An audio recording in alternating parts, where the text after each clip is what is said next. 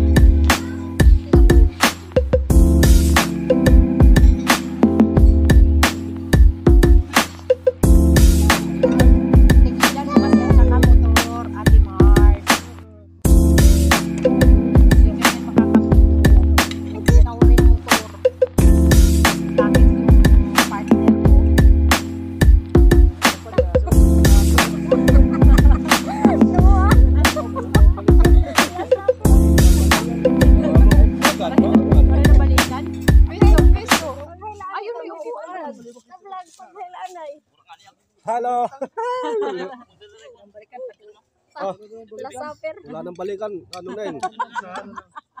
Last na yun nga pag nginudtok.